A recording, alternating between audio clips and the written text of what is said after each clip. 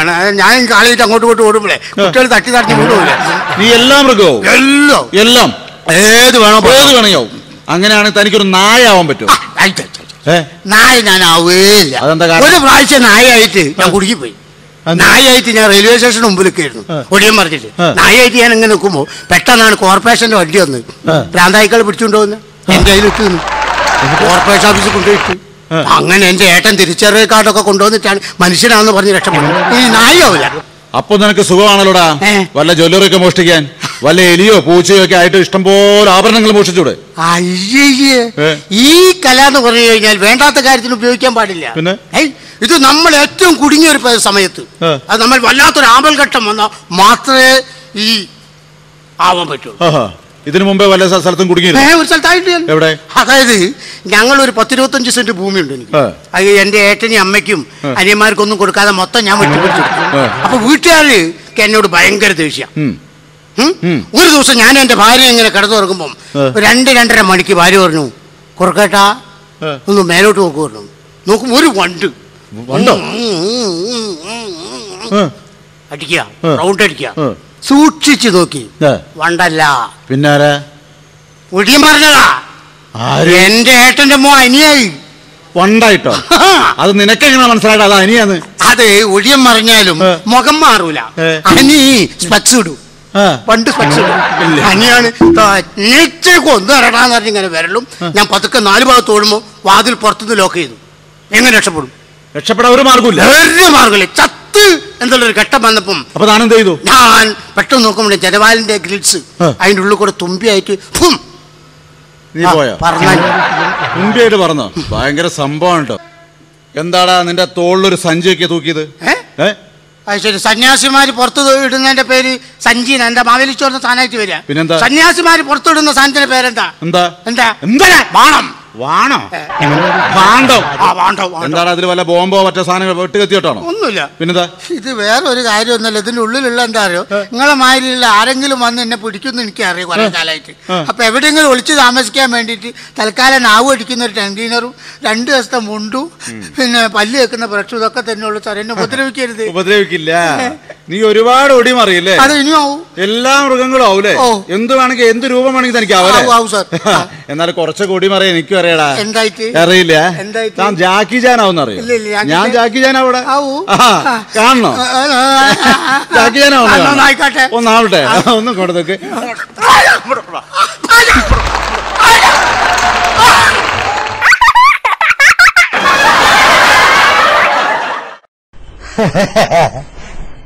മലയാള സിനിമയിൽ ഞാൻ ഏറ്റവും കൂടുതൽ സ്നേഹിക്കുകയും ആരാധിക്കുകയും ചെയ്ത ഒരു വ്യക്തിയാണ്. മലയാള സിനിമന്റെ ഹാസ്യ സോമ്പാട്ട് നമ്മുടെ കുതിരട്ട മൊബൈൽ ഓ അതൊരു വല്ലാത്തൊരു മുതല.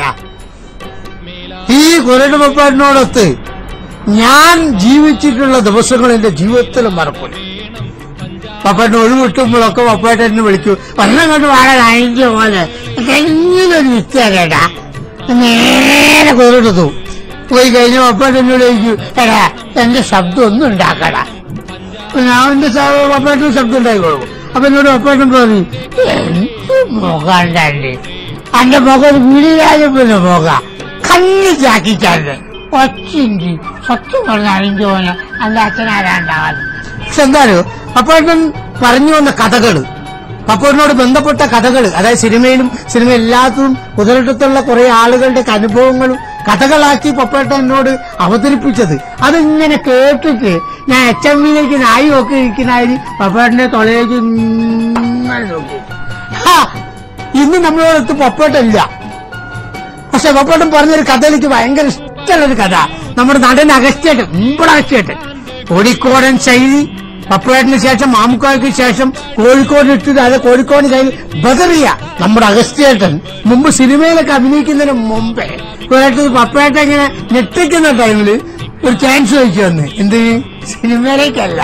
എന്തെങ്കിലും പഠിക്കാവൻ മതി അങ്ങനെ ഒരു ദിവസം പപ്പാന്റെ വീട്ടിലേക്ക് ചാൻസ് ചോദിച്ചു വന്ന്. ഇന്ന് നമ്മളോട് ആ വിശ്വരൂപം അതായത് നമ്മുടെ കൊരട്ടാപ്പാട് നമ്മുടെ കൂടെ ഇല്ല. പപ്പാന്റെ ശബ്ദം അനുഭവിക്കും ഞാനും കൊരട്ടും പപ്പാട്ടിന്റെ വീട്ടിൽ നമ്മുടെ നാടൻ മുമ്പാഴ്ചയാണ്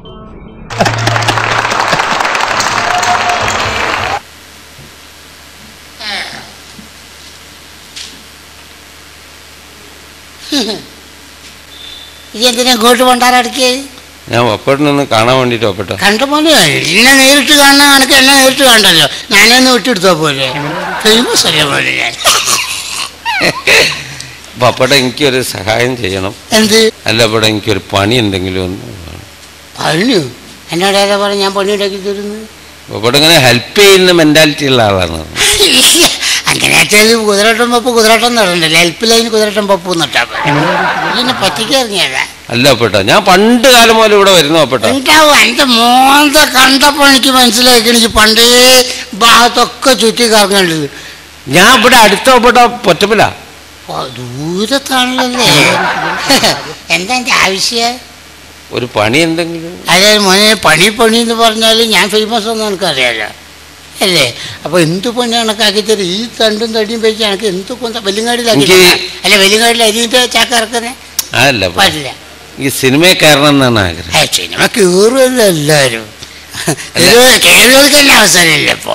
അല്ല എന്റെ ക്യാരക്ടർ എല്ലാ ഫ്രണ്ട്സൊക്കെ പറയുന്നത് ഞാൻ സിനിമ കയറിയാൽ ഭയങ്കര അന്നെ നശിപ്പിക്കുന്ന എല്ലാരും പറയും അന്ന മൊയന്താക്കി വിടാൻ വേണ്ടി അതിൽ കയറിയാൽ മതി. പിന്നെ ഓർക്ക് ഉണ്ടാവില്ല. അല്ല അപ്പേട്ട അങ്ങനെയല്ല. ആത്മാർത്ഥ ആത്മാർത്ഥ കീപ്പ് ചെയ്യുന്ന ആളാ. അല്ല സ്നേഹിതന്മാർ അങ്ങനത്തെ സ്നേഹിതന്മാരാ അങ്ങനെ ഞാൻ ബോംബെക്ക് പോയി. ഇജ് മൊയന്തൊന്നല്ലേ അല്ല മോനെ ഇജ് ബോംബെയിൽ അങ്ങനെ പോയി? ബോംബെയിലുള്ള ആ വലിയൊരു കഥയൊപ്പെട്ട എപ്പോഴും എനിക്ക് കഥയാ. അല്ല പെട്ട ഇതെന്താ അറിയോ? ഇങ്ങനെ ഞാൻ വെറുതെ നടക്കുന്ന കണ്ടപ്പോ എന്നോട് പറഞ്ഞു എന്നാ പിന്നെ നിങ്ങൾ ഇവിടെ ഇങ്ങനെ തിരിയണ്ട? അതിന്റെ വൈഫിന്റെ അനിയത്തി. വൈഫില്ല? വൈഫുണ്ട്.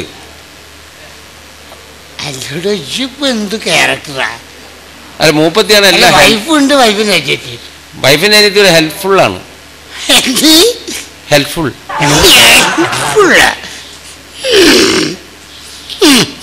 അപ്പൊ എന്നോട് അപ്പൊ വൈഫിന്റെ അനിയത്തി പറഞ്ഞ്. നിങ്ങൾ പിന്നെ ബോംബെക്ക് പോയിക്കോളി ഞാൻ വിളിച്ചു പറഞ്ഞ് അവിടെ തൽക്കാലത്തേക്ക് ഒരു പണി ശരിയാക്കാണ്. അങ്ങനെ ഒരു ബോംബ് പോയി? ബോംബെക്ക്. അപ്പോ അവിടെ ഒരു സേട്ടുവിന്റെ അവിടെ പണി ശരിയായി. ഓ വലിയ സേട്ടിന്റെ അവിടെ എന്തായിരുന്നു പണി എനിക്ക്? ഡ്രൈവർ അല്ല ഇജിന്നെ കയറ്റുക എന്നോട് ഒരു ജോലിയില്ല മറ്റില്ല അതില്ല ഞാൻ ബോംബെ പോയി കിടന്ന് പറഞ്ഞു വന്ന് ഇപ്പൊ പറഞ്ഞു ഡ്രൈവിംഗ് വരുമെന്ന് അനക്ക് നേരത്തെ പറഞ്ഞ് എന്ത് ഡ്രൈവർ ആയിക്കോളൂ ലൈസൻസ് ഇല്ല പെട്ട എനിക്ക്. ലൈസൻസ് എനിക്കില്ലല്ലോ അ- അപ്പോ വൈഫിന്റെ അനിയത്തി പറഞ്ഞു സേട്ടുവിന്റെ അവിടെ സേട്ടുവിന്റെ വൈഫിന്റെ അനിയത്തി പരിചയമില്ല. മൊയ്തീൻക്ക് ഒരിക്കലും പൊന്നാനി പോയി? ഹോട്ടലുണ്ട്. വൈഫിന്റെ അനിയത്തി നീ പറയണ്ട? ഈ ബ്രദർ സിസ്റ്റർ അവരവര് അല്ല എന്റെ ജോലി എനിക്ക് ഏകദേശം മനസ്സിലായിക്കടെ.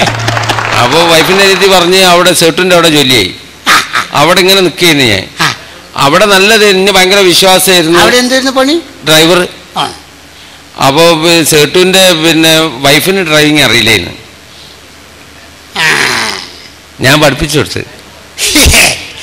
ഈ ചെല്ലുന്നിടത്തൊക്കെ കുളങ്ങളുണ്ട് ഒക്കെ ഡ്രൈവിംഗ് പഠിപ്പിച്ചു കൊടുത്തു. പിന്നെന്താ അവിടുന്ന് പോരാൻ കാരണം? തെറ്റിദ്ധാരണയായിരുന്നു അപ്പോട്ടോ. ഓക്കല്ല. അവളെ ഭർത്താവിന്. ഇത്രയും നല്ലൊരു സുഹൃത്തിനെ കിട്ടി. എന്ത് തെറ്റിദ്ധാരണയുടെ? മനുഷ്യന്റെ മനസ്സല്ലേ? ഒന്നാമത് ഇന്ത്യക്കാരൊരു വല്ലാത്ത മനസ്സാണ് ഇന്ത്യക്കാർ ഇന്ത്യയിലെ വർത്തമാനം പോലെ ശ്രദ്ധിക്കണം. അപ്പോ ഞാൻ പറഞ്ഞു ഇങ്ങനെ പിന്നെ ഇതല്ലേ? ഇത് ഓരോടിങ്ങനെ ഓരോട് സ്നേഹത്തിൽ പെരുമാറുകയും ചെയ്യും. ഈ സേട്ടുത്തി. ആ, എന്റെ ബന്ധം എനിക്ക് മനസ്സിലാവുന്നത് കാരണം ഭാര്യ വൈഫിന്റെ അജറ്റി ഇങ്ങനത്തെ ഒരു ബന്ധത്തിലാണ് ഞാൻ എന്റെ പേര്. അതുകൊണ്ടല്ല അപ്പോട്ടാ? ആ അപ്പൊ ഞാൻ അങ്ങനെ ഇതായിട്ട് അപ്പൊ ഒരു ഞാൻ ഗുരുസ്ഥാനത്താണല്ലോ ഞാൻ. ഇതെല്ലാം പഠിപ്പിച്ചു കൊടുത്തതിനെ കൊണ്ട്. അപ്പൊ ഞാൻ പിന്നെ ഇതൊക്കെ ആവുമ്പോ രാത്രിയൊക്കെ ആവുമ്പോ ഭക്ഷണമൊക്കെ എടുത്തു തരാ സേട്ടു ഒറ്റയ്ക്ക് എടുത്ത് കഴിച്ചോളൂ. എനിക്ക് എടുത്തു തരൂ. ഗുരു സേട്ടു ഓരിങ്ങനെ എടുത്തു തരൂ. ഒരു ഗുരുസ്ഥാനത്തുള്ള നിഷ്കളങ്കത. അതെ. പറഞ്ഞു മോനെ. അങ്ങനെ ഞാൻ അവിടെ ഇങ്ങനെ നിൽക്കായിരുന്നു വിശ്വസ്തനായിട്ട് നിൽക്കായിരുന്നു അതെ അങ്ങനെ ഒരു പ്രാവശ്യം അപ്പൊ സേട്ടൂന് ഇങ്ങനെ ഒരു ഡൗട്ടുള്ള എനിക്ക് അറിയില്ലായിരുന്നു ഈ സേട്ടുത്തിയായിട്ട് ഇങ്ങനെ ഭക്ഷണം എടുത്തു തരുന്നതിന്റെ ഒരു ഡൗട്ട്. അപ്പൊ അപ്പോൾ ഞാൻ പിന്നെ ഒരു ദിവസം സേട്ടു ഡൽഹിക്ക് പോവാന്ന് പറഞ്ഞിട്ട് ഞാൻ എയർപോർട്ട് കൊണ്ടുപോയി വിട്ട്. വിട്ട് പിന്നെ ഞാൻ തിരിച്ചു വന്ന്. രാത്രി പതിനൊന്ന് അമ്പതായി തിരിച്ചെത്തുമ്പോൾ ഇത് രാത്രി? രാത്രി. അപ്പൊ ഇവരൊറ്റയ്ക്കല്ലേ ഉള്ളത്? അതെ. വൈഫ്. മൂപ്പര് ഡൽഹിക്ക് പോയതല്ലേ? അപ്പൊ എനിക്ക് ഒരു ടെൻഷൻ. നമ്മളൊക്കെ ഒരു ചോറ് തരുന്നവരല്ലേ? ചോറ് മറക്കരുത് ഞാൻ അതാ പെട്ട അപ്പൊ ഞാൻ വിചാരിച്ച് പുറത്ത് ഇറങ്ങിട്ട് പാവം അവരൊറ്റയ്ക്കല്ലേ സ്വത്തും മുതലുള്ള ആൾക്കാരല്ലേ? അപ്പൊ ഞാൻ അവരെ ബെഡ്റൂമിൽ കിടക്കാൻ വിചാരിച്ച്. എന്നിട്ട്? ഞാൻ അവിടെ റൂമിൽ കിടന്നു. എല്ലാം പോലെ യാത്ര പറയാനല്ലേ പോയത്? പറയാനാണെങ്കിൽ എന്റെ മനസ്സ് സമ്മതിച്ചില്ല പെട്ട. സേട്ട് പിന്നെ വന്നിരുന്നു അവിടെ? സേട്ട് ഫ്ലൈറ്റ് ക്യാൻസൽ ആയി പറഞ്ഞു എത്ര മണിയായി രണ്ടു മണിയായി. ഇത്ര ടാക്സി നേരം എനക്ക് എന്ത് യാത്ര ചെയ്യുന്നു പറയൽ? യാത്ര പറയല്ലായിരുന്നു. ഓ ദീർഘയാത്രയായിരിക്കും. വല്ലയിടത്ത് പറഞ്ഞു ചേട്ടു പോയിക്കോന്ന് പറഞ്ഞു. പോകുന്നു ഒന്നില്ല കോഴിക്കോട്ട് പോന്ന? കോഴിക്കോട്ടേക്ക് വന്നില്ല. ഗോവയ്ക്ക് പോയി. ഈ എവിടെയൊക്കെയാണ്ടോ സഞ്ചരിക്കുന്നത്? ബോംബെന്ന് പോയി ഗോവയിലേക്ക്. ഗോവയിലെ കാര്യം കൊണ്ട് എന്നെ? വൈഫിന്റെ അനിയത്തി വിളിച്ചു. ഓൾ നല്ല എസ്റ്റിഡ് ബൂത്താണല്ലോ അല്ലേ? നല്ല എല്ലാ കണക്ഷനാ ഇന്റർനെറ്റ് ഓൾ. ഇന്റർനെറ്റാണ് ശ്രദ്ധിക്കണേ. അപ്പൊ ഓൾ നേരെ ഗോവയിലേക്ക് വരാൻ പറഞ്ഞു. ഇത് എവിടെ ചെന്ന്. ഗോവയിൽ ചെന്ന് ഉസ്മാൻ ഖാന്റെ ഒരു പെങ്ങളെ മോണ്ടായിരുന്നു. റൌഫ്. ചെക്കനാ? ആ നല്ല സ്വഭാവമുള്ള ഒരു ചെക്കനാ. ഈ കട്ടൻ കാപ്പിനാളാ ആ, പറഞ്ഞ പറഞ്ഞ പറഞ്ഞ അങ്ങനെ ഞാൻ അവിടെ നിന്ന്. അത് പിന്നെ ഇങ്ങനത്തെ പണിയൊന്നുമല്ല. ഭയങ്കര വിശ്വസ്തമായിട്ടുള്ള ഒരു വിശ്വസ്തന്റെ ഇതുള്ള പണിയാ. ബാങ്കിൽ പോയിട്ട് ലക്ഷക്കണക്കിന് ഉറപ്പെടുക്കുക എന്നിട്ട് കമ്പനി കൊണ്ടുപോയി കൊടുക്കുക കമ്പനിയിൽ നിന്നുള്ള പൈസ കൊണ്ടുപോയി ബാങ്കിൽ അടയ്ക്കുക പിന്നെ വേറെ പൈസ എടുത്തിട്ട് ഇവിടെ കൊണ്ടുപോയി മലയാളിയുടെ വീട്ടിൽ കൊടുക്കുക. അങ്ങനെയായിരുന്നു. അങ്ങനെ ഞാൻ അവിടെ ഭയങ്കര ഇതായിട്ട് നിൽക്കായിരുന്നു ആയിക്കോട്ടെ പിന്നെ അവിടുന്ന് എന്തിനാ പോന്ന് അതൊരു വലിയ കഥയാവപ്പെട്ട. എപ്പോഴും നീണ്ട കാര്യം. അപ്പൊ ഞാൻ അവിടുന്ന് ഒരു ദിവസം ബാങ്കിൽ നിന്ന് പൈസ എടുത്ത് ഒരു മുപ്പത് ലക്ഷം ഉറുപ്പ്യ. മുപ്പത് ലക്ഷം. എന്റെ അടുത്ത്. എപ്പോഴും ഉണ്ടാവും ഇരുപത്തഞ്ച് ലക്ഷം മുപ്പത് ലക്ഷം നാൽപ്പത് അല്ല, ലക്ഷം. ഉണ്ടെങ്കിൽ എനിക്ക് ആരാന്റെ പൈസയല്ലേ? ഇട്ടോ അങ്ങനെ പൈസ എടുത്ത് വരുമ്പോ ഹർത്താൽ. മുപ്പത് ലക്ഷം ഇട്ട് വരുമ്പോ അപ്പൊ അപ്പം കമ്പനിയൊക്കെ പൂട്ടി. അപ്പൊ ഞാൻ വൈഫിന്റെ അനിയത്തിനെ വിളിച്ച്. അല്ല ഓൾ അവിടെ തന്നെ പൂത്ത് ഇങ്ങനെ വിളിച്ചാ എടുക്കാൻ. അപ്പോ ഞാൻ എന്താ ഏട്ടാന്ന് ചോദിച്ചു. എന്നോട് അപ്പൊ ഞാൻ പറഞ്ഞു അപ്പൊ ഞാൻ പറഞ്ഞു മോളെ ഇങ്ങനെയാണ് ഏട്ടൻ കുടുങ്ങി നിൽക്കുകയാണ് ഇങ്ങനെ പൈസ ആയിട്ടൊരു കയ്യിലുണ്ട് എന്ന് പറഞ്ഞു. അപ്പൊ എന്നോട് പറഞ്ഞു അങ്ങനെ ആരാന്റെ പൈസയല്ലേ? അതുമായിട്ട് അവിടെ ഇവിടെ ഒന്നും തിരിഞ്ഞു കളിക്കണ്ട. നിങ്ങൾ ഇങ്ങോട്ട് പോരിയിരുന്നു എങ്ങോട്ട് പോയി? കോഴിക്കോട്ടേക്ക്. എല്ലാവരും മൊയന്റെ മുപ്പത് ലക്ഷമായി തിരിച്ചു ഇങ്ങോട്ട് വന്നിട്ട് ആ പൈസ വിടറോ പൈസ ഞാൻ ഓളടുത്ത് തന്നെ അപ്പൊ തന്നെ വന്ന ഉടനെ ഏൽപ്പിച്ചു. പണ്ടാറ എല്ലോട് പഹയ. എല്ലാവരും ആ മുപ്പത് ലക്ഷം എടുത്തിട്ട് ഓളെവിടെ? ഓളിപ്പോ ബോംബെയിലാ ഉസ്മാൻ ഖാന്റെ കൂടെ? ആണോ? അനക്കിപ്പോ എന്താ വേണ്ടത്? എന്തെങ്കിലും ഒരു പണി ശരിയായി തരാം.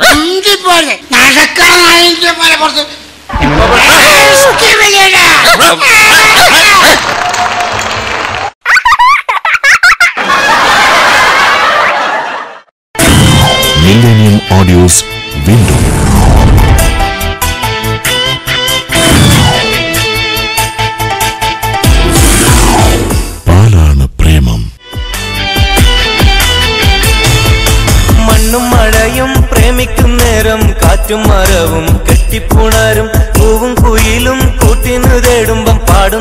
പാട്ടെല്ലാം പ്രേമഗാനങ്ങൾ.